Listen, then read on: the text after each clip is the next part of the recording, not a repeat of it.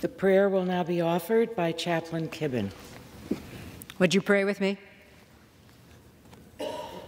Holy and eternal God, with you a day is like a thousand years, and a thousand years a day.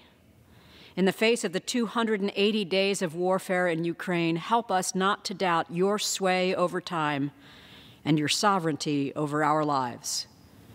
You are not slow to keep your promise, but we ask your patience with us when we pray for immediate resolution. Grant each side and all those immersed in this conflict moral clarity in the midst of this horror. Grant us your vision where there seems to be no end in sight. And reveal your perfect justice and restore the livelihoods which have been destroyed and the souls which have been crushed.